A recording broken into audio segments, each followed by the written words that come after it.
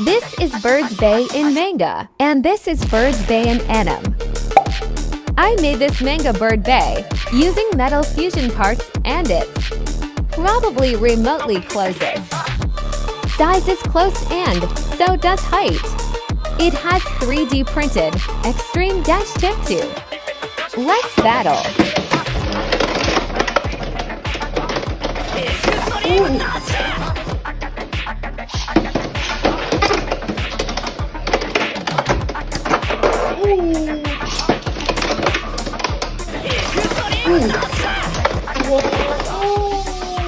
Question for you. Do you think TT will make the Bird Bey?